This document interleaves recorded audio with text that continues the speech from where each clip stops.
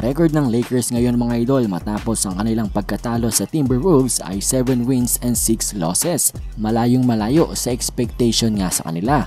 Bago pa nga mag-umpisa ang season, inaasahan na sila ay isang championship contending team at isa sa mga best team ngayon sa Western Conference. Pero nga ngayon mga idol, 13 games in na tayo sa season. Ito, pang number 7 sa West etong team ng Lakers.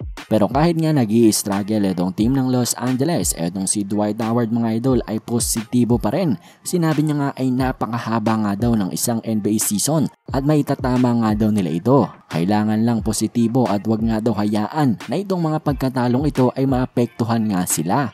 Ayan nga mga idol ang advice netong isa sa napakaraming veterano ng Lakers na si Dwight Howard.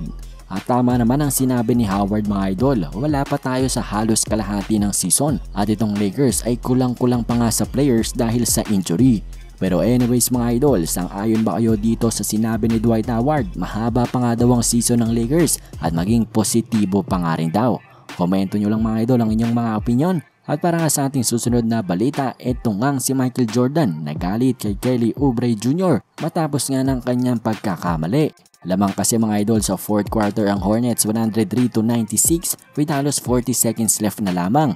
Etong si Oubre mga idol minadali at itinira ang tres na dapat inubos niya na lang ang oras. Kaya nga itong si Jordan mga idol ay napatayo pa sa kanyang upuan sa sobrang galit niya sa ginawa ni Oubre. Tingnan nyo mga idol.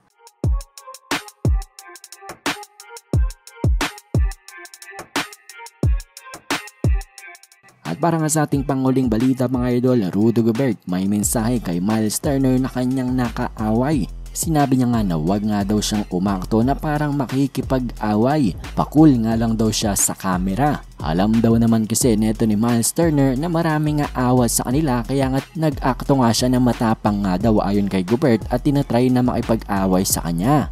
Ayan nga mga idol ang mensahe neto ni Rudy kay Turner. Huwag nga daw magtapang-tapangan. Pero anyways mga idol, yan na nga lamang muna ang ating mga balitang NBA ngayon. Maraming ang salamat sa inyong panonood. Bye!